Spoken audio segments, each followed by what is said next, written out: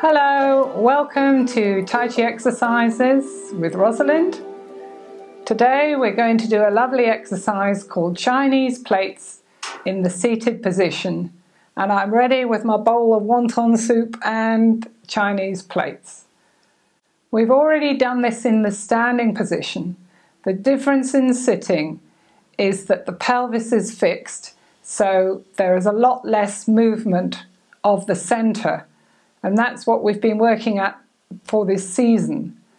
The center moves in Tai Chi, one of the very important principles. And that's the point, I'll just put my dot here, about one and a half inches below the belly button and one and a half inches inside. It's the center of gravity of the human body, it's a hypothetical point. And in Tai Chi they call it the Dantian. So I'm going to start with a variation and then we're going to work up to do the Chinese plates. Because some people, Chinese plates involves taking your hand over your head and some people might find this difficult. So we'll start in sitting with the palm up and remember as well that Tai Chi isn't competitive. So just do what you're happy with and if you can't do the movement, then just do perhaps a smaller movement, or if you can't do it at all, just leave it and try one of my other exercises. So as always, we're going to sit in the best possible posture, the crown, that point where the crown of the hair grows out from, always suspended. Nice long line at the front. Make sure you've got a good stable chair.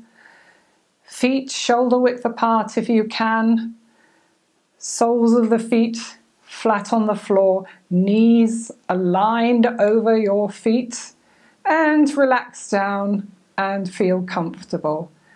And once you've learnt the choreography of the exercise, calm your mind down, that nice sensation when you're about to go to sleep.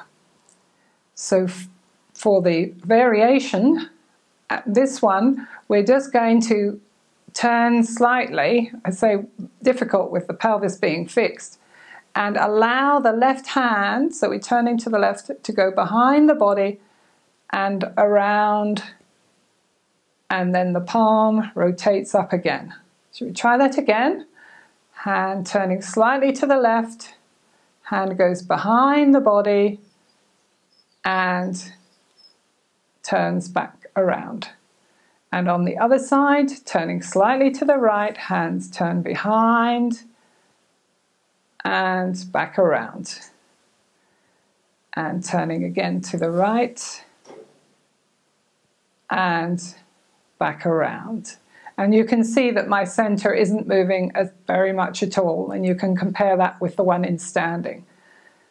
So you can do these alternate first the left and then the right, which is what we do when we do the full Chinese plates. Left and then right. And then another variation is simply to do both hands together.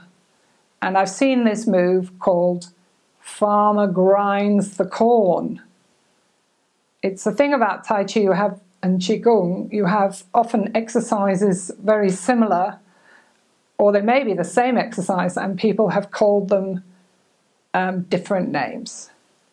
So it's kind of a bit like the move of Chinese plates, we'll, which we'll do shortly. You're breathing in as the body lifts up and out as the hands come around remembering to breathe at your own rate. In and out. So the body lifts at this point as the hands draw in and the body sinks out. Farmer grinds the coin. And again, if you're not able just to even just to moving the wrists, just in Tai Chi, just do what you're happy with and feel into the body. Go back to the full movement and enjoy the sensation of the moving body.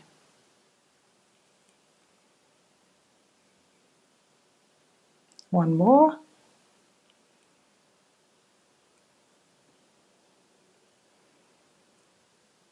Lovely. Now in Chinese plates, I guess I can use the plates again to show you. So and you don't need plates, this is just, again, for a bit of fun. So we're imagining they're bowls of wonton soup. And as we turn to the left, the hand comes, and this time it spirals up. Oh, don't drop the soup. Over the head and back down. And if I turn to the right, same thing, spirals up and overhead. And again, you can see there's not as much movement of the central point. I'll put that down and then we can do the exercise together. Turning around.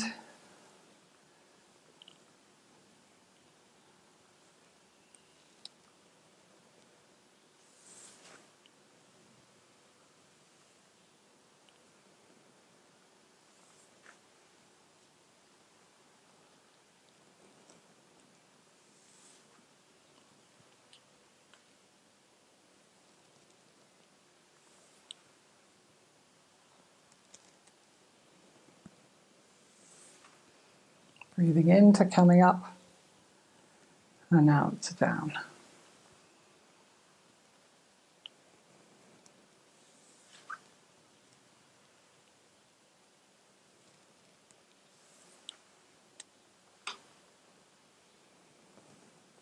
A couple more.